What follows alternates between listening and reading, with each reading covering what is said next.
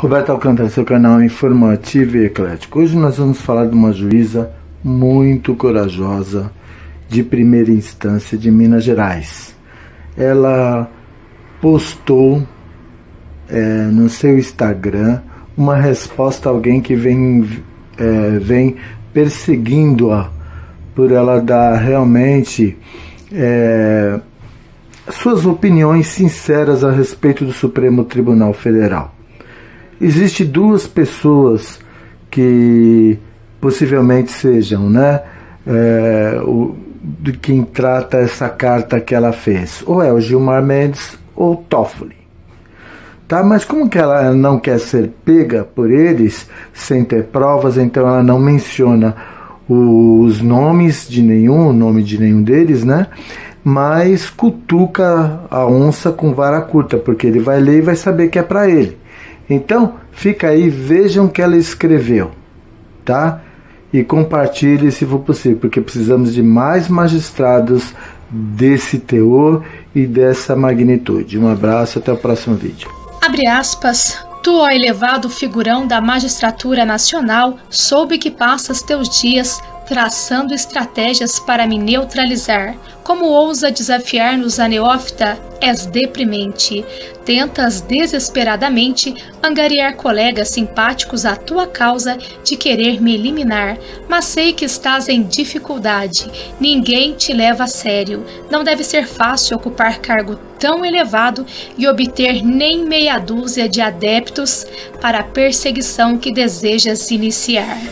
Teu cargo é tudo o que tens, tua própria substância, por isso temes perdê-lo tal como tua própria vida. Projetas teus medos em mim como se meus medos fossem os mesmos que os teus.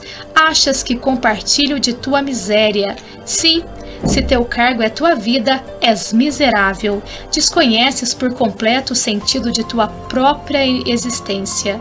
Tens as pernas trêmulas só de pensar em perder teu cargo e tua posição.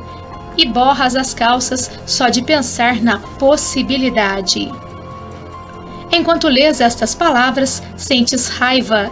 Neste momento, procuras meios de calar quem te perturba a alma e desnuda a tua inépcia.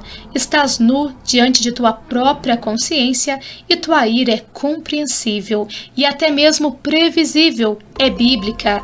As coisas são assim desde o início dos tempos.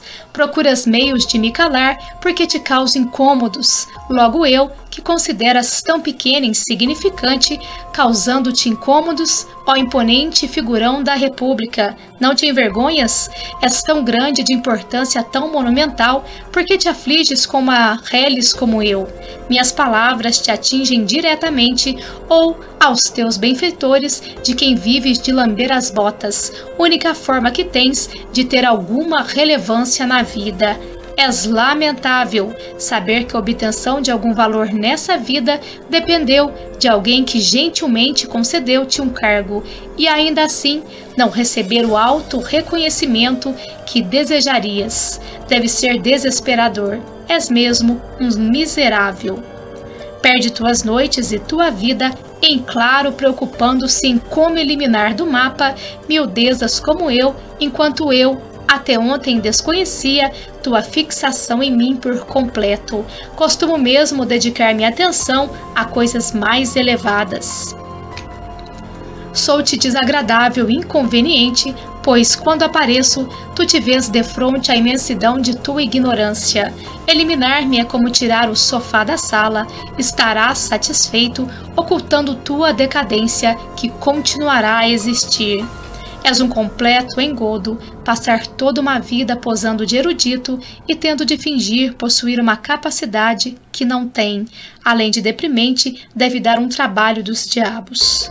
Recebo afetos espontâneos que jamais receberás porque o ser humano corre naturalmente na direção do que os instintos dizem ser-lhe bom.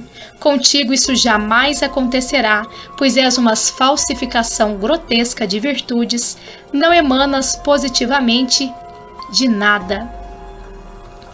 Minhas palavras podem significar para ti o descortino de algo que tu gostarias que permanecesse incógnito e incompreendido, pois te beneficias de certos segredos inconfessáveis. Neste caso, lamento, não tenho o rabo preso como tu tens e quero mais é que te lasques. Deve ser mesmo incômodo ver opiniões que te são repulsivas receberem tamanha aceitação pública. Sei que não tens muita afeição ao contraditório e à divergência, embora exerças a magistratura, tampouco a liberdade de expressão de que dizes ser defensor. És hipócrita, aceitas amizades cabulosas e favores de figurões duvidosos que possam te beneficiar, e ao mesmo tempo que enxergas em mim o mal a ser extirpado.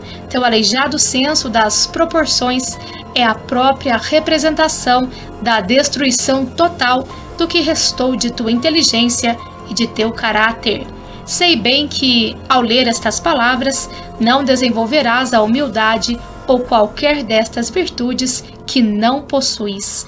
Isso seria um comportamento dos fortes de espírito e não de homenzinhos gelatinosos de perninhas trêmulas. Sentes raiva, estás vermelho e teus dentes rangem. Correto? Sofres uma ardência no tórax como se estivesse tomado ácido. Já sei, já estás correndo ao teu grupo de zap tentando achar algum meio legal de me descartar, mas não consegues nem a lei nem um apoio, não és levado a sério. Tua fortuna é que o teu estado de completa indigência espiritual não é estanque. É possível evoluir até o fim de nossas vidas, ainda há tempo e salvação. Boa sorte com esta vida sem sentido que vai mesmo precisar.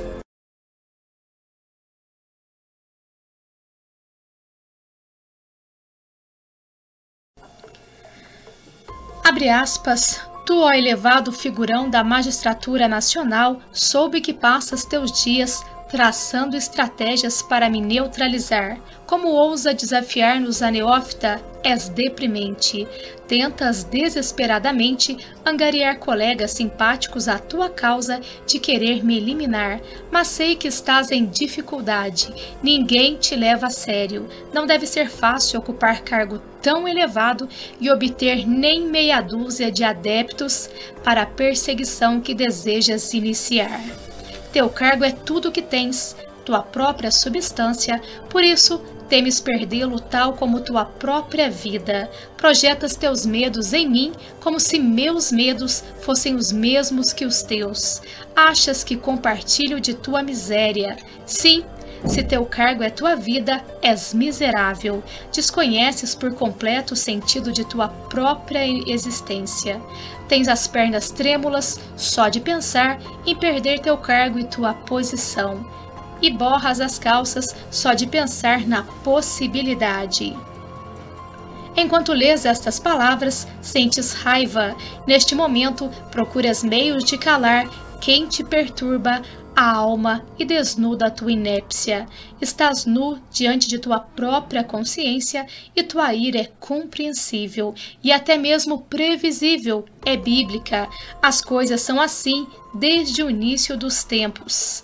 Procuras meios de me calar porque te causo incômodos. Logo eu, que consideras tão pequena e insignificante, causando-te incômodos, ó imponente figurão da República, não te envergonhas? És tão grande de importância tão monumental, porque te afliges com uma reles como eu? Minhas palavras te atingem diretamente ou aos teus benfeitores de quem vives de lamber as botas, única forma que tens de ter alguma relevância na vida. És lamentável saber que a obtenção de algum valor nessa vida dependeu de alguém que gentilmente concedeu-te um cargo e ainda assim não receber o alto reconhecimento que desejarias. Deve ser desesperador. És mesmo um miserável.